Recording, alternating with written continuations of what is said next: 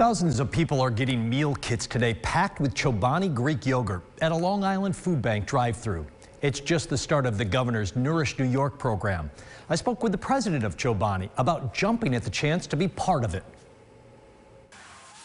You know, we're a yogurt company, so we're under no illusion that we can solve this huge problem. But I think if everyone just helped do their part, we'd, we'd be in a better place. Through Nourish New York, Chobani's helping struggling dairy farmers upstate find a market for their milk. With schools and restaurants closed, farmers have excess milk, so much they were considering dumping it, or in many cases now have been just giving it away. We were founded in upstate New York in South Edmeston. Um, and so, very important. And we have a lot of people who work at our factory in South Edmeston that are sons and daughters of dairymen. Three cups of milk for every one cup of Chobani's protein and probiotic packed cup of Greek yogurt, which is where the second part of the Nourish New York program but I think it's in. more about community now than ever.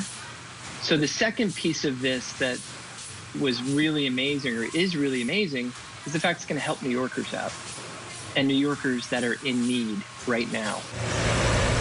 This is the first of what will be several tractor trailers that will leave their Otsego County plant headed for food banks all over New York State. This one is full of 133,000 cases of Chobani Greek yogurt headed to a Long Island food bank. There's always a lot of pride up there because they love what they do. Um, but there's a little bit extra pride today.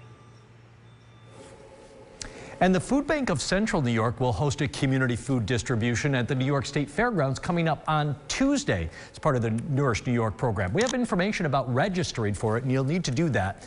Just check out localsyr.com.